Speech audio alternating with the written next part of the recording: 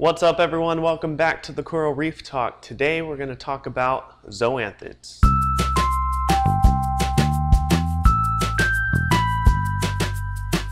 If you're looking for an easy coral to keep, then most reefers will recommend zoanthids. And yes, they are an easy coral to keep, but it just so happens that zoanthids are not corals at all.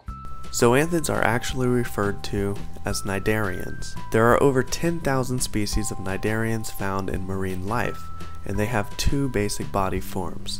A swimming form, like a jellyfish, and a polyp form, like anthozoas. Anthozoas attach to a substrate and they grow. Now, a subclass of anthozoas, which is comprised of 4,300 species, is called Hexacorallia, which is an organism that forms polyps with symmetry, generally with a six-fold symmetry. This can include stony corals, most of which form colonies. Now, instead of using the term Hexacorallia in the hobby, we now know this species to be zoanthids, which form colonies, are symmetrical, and are commonly found in coral reefs, thus being referred in the hobby as a zoanthid coral.